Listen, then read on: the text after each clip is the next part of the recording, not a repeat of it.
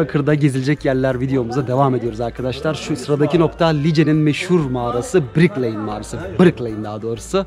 Brick e, yöredeki diliyle göl ya da su birikintisi anlamına geliyor. Yani eskiden mesela hadi Brick'e gidelim derlermiş. O yüzden böyle bir isim almış. Lice'de yaklaşık Lice'den bir 5-6 kilometre uzaklıkta inanılmaz sert bir yerdeyiz. E, kayalardan tırmanarak bakın az önce de videolarda gösterdim ve sonrasında göreceksiniz. İnanılmaz bir e, zorlu yoldan sonra buraya geldik. Ha yol mükemmel. Diyarbakır'dan Lice'ye kadar çok rahat gelebiliyorsunuz ama buradan sonraki kısımda bu sudan içinden geçerek gideceğiz ama öncesinde yukarıdaki kitabelerin bulunduğu mağaraya gideceğiz. E, şimdi e, dediğim gibi mağara arkamda ama biz önce kitabenin olduğu kısma gideceğiz. Gerçekten doğal güzellikleri anlattığım bu videoda çok güzel bir yer olmuş oldu. Ben de bundan mutlu oldum. Şer- Şeyhanlı'da şelalesinden sonra Brick Lane mağarası ve sonrasında devamı gelecek. Birkaç yer daha olacak. Bakalım biz daha nasıl sürprizler bekliyor.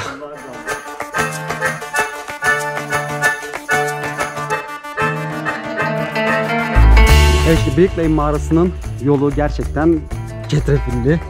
Çok yani böyle uçurumun kenarından yürümek zorundasınız. Yukarıdaki mağaraya çıkmak için. Çünkü iki tane, daha doğrusu üç tane mağara var. İki tanesi e, görülebilme, görülebilecek yerler. Bir tanesi zaten şu karşıda gördüğünüz devasa en meşhur e, suyla suyun içinden gidip yürüyerek gideceğimiz yer. Asıl e, bir de yazıtların olduğu da yukarıdaki mağara. Biz şimdi yukarıdaki yere çıkıyoruz ama bakın yollar bu şekilde. E, tırmanış e, meraklıları için gerçekten güzel bir nokta. Ama dediğim gibi zor. Gidiyorum buradan. Dağ keçileri gibi.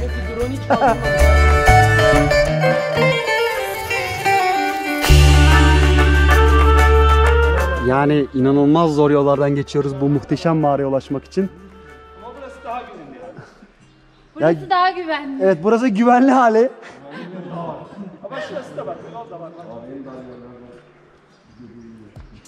Ozan Bey.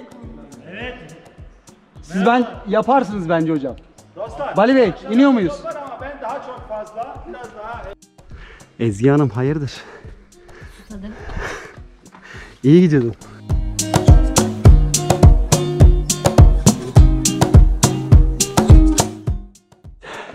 Zorlu yolun sonunda bu devasa mağara karşımıza çıktı arkadaşlar. Yaklaşık bir 10 dakika tırmandık. Ama yani inanılmaz gösterişli.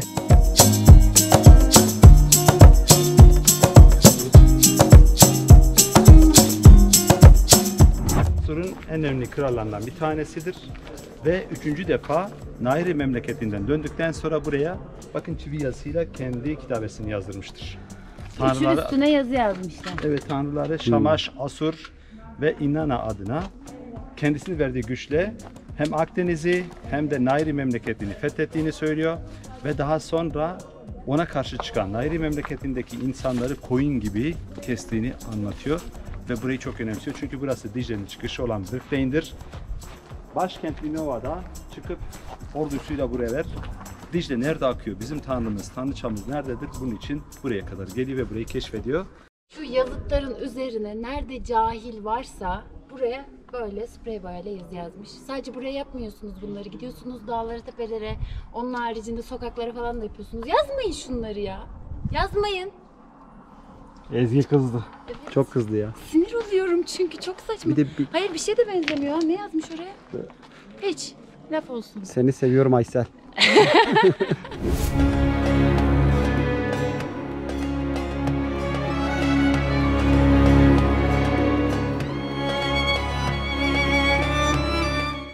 Define avcıları yine iş başında arkadaşlar. Mağaranın her yerinde böyle çukurlar var. Kazmışlar kazmışlar. Tabii bir şey bulamayınca böyle de bırakıp gitmişler.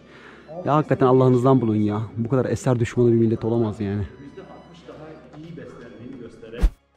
Buralar bağmış, bahçeymiş. 3000 yıl önce Asurlular gelmişler burada bu devasa mağarayı bulmuşlar. Açmışlar. Sonra da define avcıları gelip buraları böyle kazıp Evet, aramışlar. gösterdim gösterdim ben. Peki şey bu Vietnam'daki mağaraya biraz benziyor değil mi? Şu meşhur bir tane Hanoi, Ha, Hanoi yakınlarda aynen. var ya. Burası Vietnam olsa beğenirdiniz. Siz de beğeniriz. Burası Diyarbakır. Lice Diyarbakır. O bir tane mal... ne söyledim de. Türkiye, Türkiye. aynen. Evet, şu an mağaranın iç kısmındaki sarkık ve dikitleri görüyorsunuz arkadaşlar.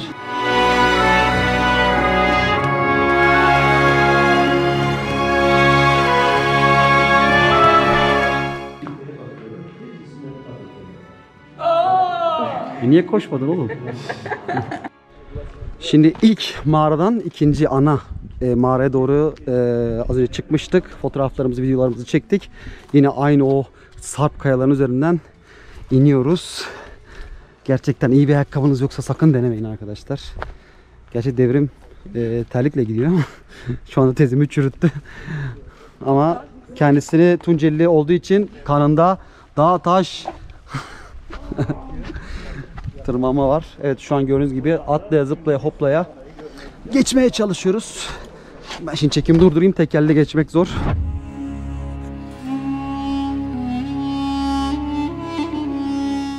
Evet şimdi arkamdaki e, sudan yürüyerek bir sonra bir süre sonra da yüzerek e, Brick Lane mağarasındaki o meşhur kısma geçeceğiz. Tamamen suyun içinden gitmek zorundasınız. Yer yerde boyu aşıyor. O yüzden sadece biz ekipman olarak GoPro'ları yanımıza alacağız. E, ya da su geçirmeyen bir telefonunuz varsa yanınıza götürebilirsiniz. Çünkü iç kısımdaki mağara iki taraftan da açık ve inanılmaz bir fotoğraf noktası. Harika kareler çekiliyor orada. O yüzden buraya geldiğiniz zaman e, ya işte su geçirmeyen bir kılıf ya su geçirmez bir telefon ya da GoPro'nuzu getirin. Güzel görüntüler çekebilirsiniz. Şimdi bizim için serinleme zamanı.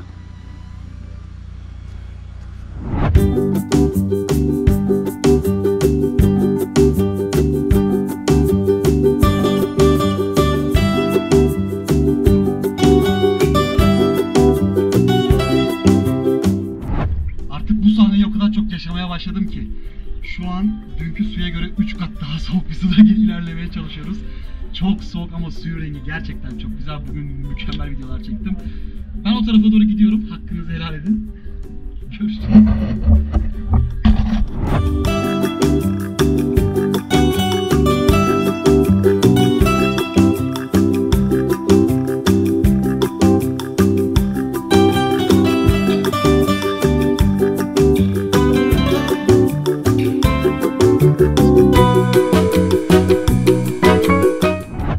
Şimdi yüzdük.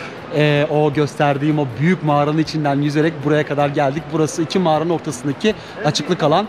Ee, bir şey yok. Hani burada aslında piknik yapanlar da var. Oturuyorlar şu anda yan tarafımızda. Ama buraya dağ yolundan geliyorlar. Yani yukarıdan tır- tırmanarak da buraya inebilirsiniz. Eğer ekipmanlarınız ıslanmış, ıslanmasını istemiyorsanız. Ama biz yüzerek geldik. Biraz üşüdük ama değdi. Mükemmel görüntüler çektik. Zaten de gördünüz çoğunu. Şimdi bir de dönüş yolu var.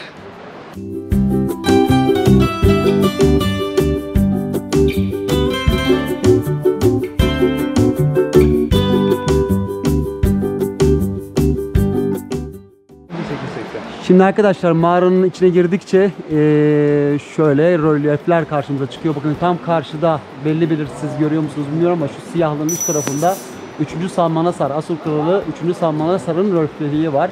Biraz yukarıda olduğu için hiç zarar görmemiş. Halen eee, taşın üzerinde duruyor. Zaten hemen o 3. mağaranın girişinde yani Asurlar gerçekten ilginç bir medeniyetmiş. Böyle yerlere medeniyet kurmuş adamlar. Tam su kenarında inanılmaz bir yerde. Yani e, çok etkileyici bir yer yani. Türkiye'de ben ilk defa bu kadar tarihle iç içe bir mağara görüyorum yani.